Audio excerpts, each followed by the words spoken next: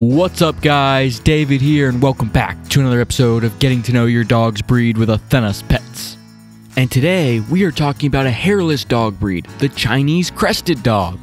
When we take a look back at the Chinese Crested Dog's history, their original origins actually weren't from China. They were originally raised in Africa and Mexico. Throughout the 16th and 17th centuries, Chinese sailors traded this breed. This is where their name comes from. At this time, they were used to hunt rats and other small animals that would cause harm to crops in the mainland.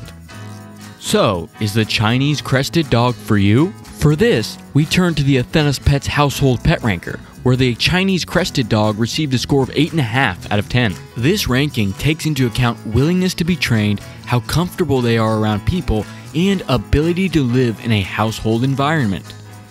The Chinese Crested Dog is a very friendly dog breed. This is especially true when they're around their family. However, just like most other breeds, you will need to socialize them early in their lives. This includes introducing them to new people and dogs. Chinese Crested Dogs are smart dogs, but sometimes they'll hear what you say and just not listen. This comes down to a little bit of stubbornness.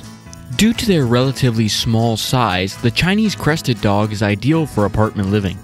Another characteristic of Chinese crested dogs that makes them good for apartment living are their low energy levels. While you need to provide them with walks, they don't have as much energy as most other breeds. One thing to remember is that every dog is different. While these are typically Chinese crested dog characteristics, getting to know your own pup is very, very important.